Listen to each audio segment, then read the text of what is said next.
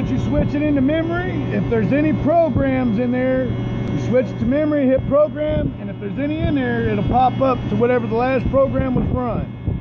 If you want to test it to see if it's going to run, at that point, all you got to do is make sure the clamps are closed. Come over here and hit the start button. Make sure the clamps are not in the way and then confirm. Anytime them clamps are close to that punch, you got to confirm it on the first run.